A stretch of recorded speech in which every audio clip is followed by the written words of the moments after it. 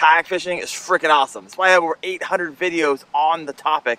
But what might be awesome to me is not awesome for you. So let's go through the nine reasons you may not want to treat yourself to that expensive fishing kayak. Let's go. Number one, W-I-N-D, the wind. This might be the number one complaint I get, especially from paddle kayakers first getting into the sport. Not only is it difficult to go where you want to go, a lot of times on windy days, I'll see kayak anglers like tucked back in the coves, protected by the wind.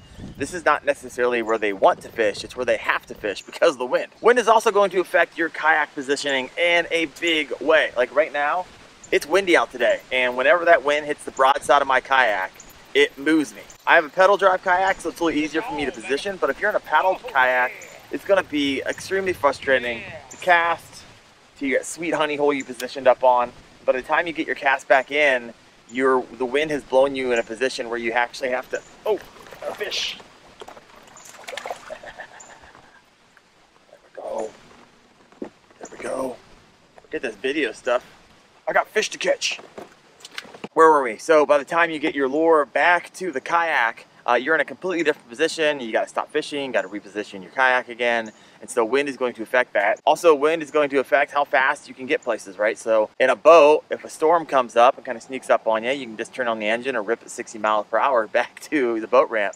But in a fishing kayak, you're limited, right? So just a few things to consider. So there are some options for you at how to manage your kayak in the wind. Of course, you can do an anchor, but however, if you drop that anchor, uh, the wind is still going to dictate where your kayak is positioned. So you can install an anchor trolley, which will help as well. There are some more expensive options. I have a pedal drive kayak, so I don't carry an anchor at all because I manage my boat positioning through my pedal drive and my rudder control system. And there's even some more expensive options out there where you can get like a spot lock. I'm gonna murder that rooster. Like, where did it even come from? I'm not even near like a farm right now. It's crazy. And there's some even more expensive options when it comes to trolling motors that have like GPS spot lock, which is essentially like a GPS motor that will keep you in perfect boat position. But man, this stuff gets expensive real fast. Also, another way kayak anglers kind of stay in one spot is they will get something called a power pole and you attach that to the back of your fishing kayak and you flick a switch and this pole goes down into the mud or in that body of water you're at and keeps you in position now, the thing is, these things are really expensive. They're like $600 a pop, plus the battery, plus the mounting hardware in some cases. So, like I said, this stuff gets expensive real fast. But wind is like your number one nemesis in kayak fishing. So you got to figure out a way to dial that in or it's not going to be a pleasant experience for you. All right, the second complaint I get a lot is loading and unloading your fishing kayak. Now, for most of you, I imagine you're probably car topping it, right? Throw it in the back of your truck but nonetheless, some kayaks are ultra lightweight and others can weigh quite a bit. So if you're 25 years old, might not be something you think about very often, but as you get older, you want to throw your back out um, because that 125 pound kayak shifted weight on you as you're pulling it off your SUV and because you'll be out for weeks or you might even give up on the sport altogether. And that would be an absolute terrible shame because there's nothing like kayak fishing. And you might want to avoid buying a fishing kayak if, number three, you don't enjoy sitting for long periods of time. I know for me and my Bonafide P127, I could fish 12 hours a day sitting in this bad boy. It's extremely comfortable, but not all kayaks are created the same. Some are extremely uncomfortable, some are very comfortable. So no, the majority of the time, and this is unlike like bank angling and boat angling when you're standing and moving around a lot, kayak fishing, you're sitting the majority of the time. And yes, you can stand up, uh, and I do that every once in a while to stretch. However, the majority of the time you are sitting and fishing. So many fishing kayaks are actually well suited for standing and fishing. So think through your personal abilities and your equilibrium to see if that is the right option for you. Oh, yes, I. Ooh, that's a nice one. Oh, I lost him, you son of a biscuit.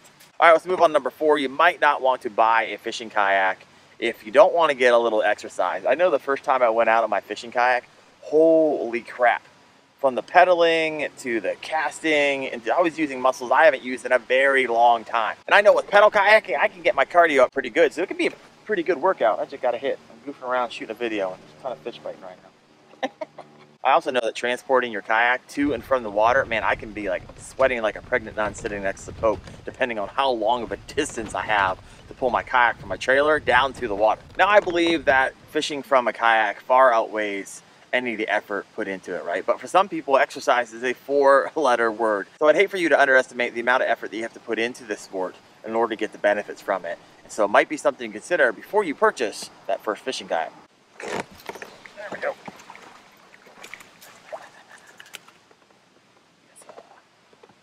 Yes, uh, shooting a video, catching some fish. Yes, that's what I talk about.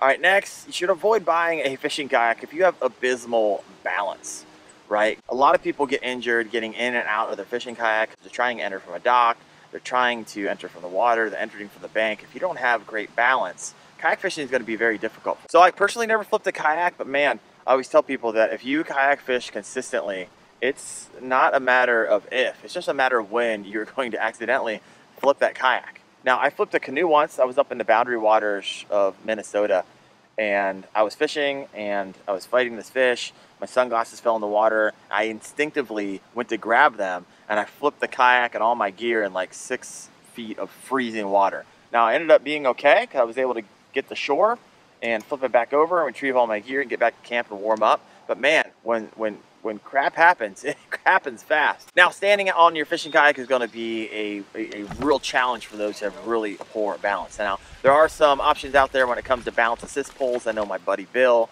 um, created the Steady Stick. The key here is knowing your abilities, right? I hate for you to get into a dicey situation or lose your life over something like this.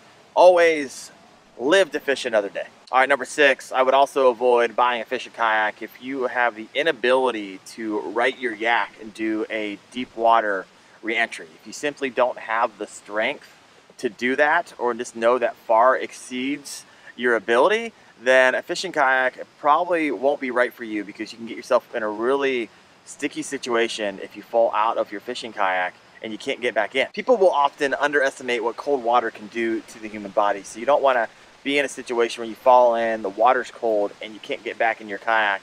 And especially if you fish open water, this is a must. All right, let's move on to number seven. The reason you might not want to buy a fishing kayak is because casting can be difficult, right? I know when I first started kayak fishing, I had to learn like the one-handed cast, the backhand cast, the side cast, the roll cast, so I wouldn't get my lure caught up in the poles eh, that I have behind me up in the air. So, but if you have one rod, it's not going to be a big deal for you. But if you are going to be carrying multiple rods like I do and a lot of other kayak anglers do, then casting, you're, you're going to have to really dial that in and there's a learning curve to it. I know for me, I also run cameras off my bow and up over my shoulder. And so you got to be able to avoid these with all of your casts. So it's not a big deal, but it's something that I didn't know getting to the sport. So something you might want to consider before buying that fishing kayak. All right, you also might want to pump the brake on purchasing that fishing kayak if you like having a, just an incredible amount of storage, right? A lot of people coming from a bank angler are moving from one tackle box to a lot more storage options. So this is going to be great for you. But if you are upgrading from a bass boat to a fishing kayak, you're going to have to dial in what you're bringing with you. And here's where I think kayak fishing actually has an advantage because since you can't have everything at any given time at your disposal, you're forced to do some pre-fishing strategy, right? If you have everything in your boat, you're like, hey, I have everything in my boat. I don't need to really think about it. I'm just I can just pull out whatever I want whenever I want. But with kayak fishing, it has forced me to like, okay, I need to know what I need to bring, so I need to know the makeup of the water, so I need to go into Google Maps Pro, and then I need to go and check out all the places, and I just started doing a lot more research. Uh, I used to own a, a, boat. I used to just go out there and, and rip and go, and it didn't have a whole lot of luck. So it wasn't until I got to kayak fishing it really forced me to put together a strategy because I can't take everything with me. Oh, there we go. Ooh, nice one. That's a nice one. Come here, girl. Oh, yes, sir. Yes, sir. Check it out, guys. If you want to catch fish, just start shooting a video. Apparently that's how that goes. Nice one. Oh, she took my crawl. see if I can catch one with just one crawl leg. It's not unusual. I see crawdads missing a crawl leg all the time in the wild. All right, let's move to the ninth reason you might want to put that credit card back in your wallet if limited range is going to be an issue for you. So I know on a fishing kayak, right, it's not like you can hop in a boat. I used to own a boat and you just hop in it and you turn the engine and you rip at 30 to 60 miles per hour from spot to spot to spot. When you paddle a kayak, you're only going to go like two miles an hour. If you pedal drive a kayak, maybe three and a half, You get a little bit faster when you have motors, but that's not going to move you around a giant lake super fast like a bass boat will. So if you want to have very long range and you have a very big lake that you're going to be fishing, you want to be able to access all of it, buying a fishing kayak might not be right for you. However, there is an advantage to this. Whenever I had a bass boat, I just turned on the engine and I'd rip to my next spot, maybe five, ten minutes away. In a fishing kayak, I would just fish along the way from spot to spot. And I can't tell you how this has helped me evolve as an angler because I would pick apart places and I would throw in places that I would never throw before when I was on the boat. And I have been rewarded for this over and over and over again. So it's really helped me evolve as an angler, catch more fish and bigger fish because I'm not just going to the same spot over and over and over again. I'm throwing and I'm casting and I'm picking apart cover in places that I never fished before. And man, it has been freaking awesome. Now with anything, there's gonna be pros and cons, and what may be a con for one person is not for the other. Now I know for me, the pros outweigh the cons in a big way. There's nothing like fishing from a kayak, from access to places that boats simply can't get to. Uh, literally where I'm at right now, boats can't get to. And so there's a lot of fish that don't get pressured, and I'm able to pick them up on my fishing kayak. You're gonna have access to the shallows, you're gonna be able to fish the creeks, you're gonna fish the rivers. The beauty of a kayak is that it's extremely stealthy, right? It's extremely quiet. You can sneak up on those bass. And I always tell people the easiest way to catch a bass is to cast before that thing knows that you're there. I love how close you are to the water, it makes it really easy to skip your lure. There's something about just pulling a bass out of the water just reaching over the side and lipping it and pulling it out of the water. I love that feeling. I also get the chuckle as I pass the fuel dock. That's always a good feeling, folks. And the kayak fishing community is absolutely incredible. I can go on and on and on. In fact, you know, like I said, I created hundreds and hundreds of videos on the topic of kayak fishing because I love it so much. But it is a sport that requires your respect because if you don't give it to it, you can get yourself into a dicey situation really fast. In fact, I did a video on this recently, 11 kayak fishing mistakes that could take your life. You can check that video out right there.